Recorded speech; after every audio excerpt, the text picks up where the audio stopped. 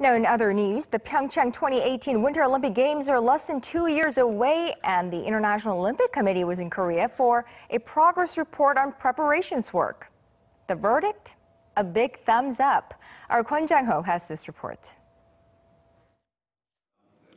On the right track. That's the verdict the International Olympic Committee gave after a meeting held with the Pyeongchang Organizing Committee on Wednesday. We have had a very productive three-day visit. It has been excellent presentations and we have a very collaborative spirit between our organizations. The brand new Alpensia Sliding Center, where events such as bobsleigh and luge will take place, was of some concern recently. An inspection and test event earlier this month revealed issues with the refrigeration plant, causing difficulties in maintaining the ice in optimal conditions. But the IOC representative, Gunilla Lindberg, reassured that it was not a big problem and said that's what these test events are for.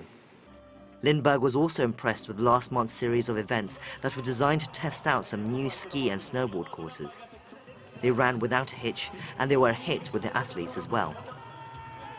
It's got good length to it, it's wide open, big features, um, we're catching a lot of air. The track today you could hold the Olympics on, for sure it's really exciting for to be a racer, and I think it's exciting to be a spectator as well here.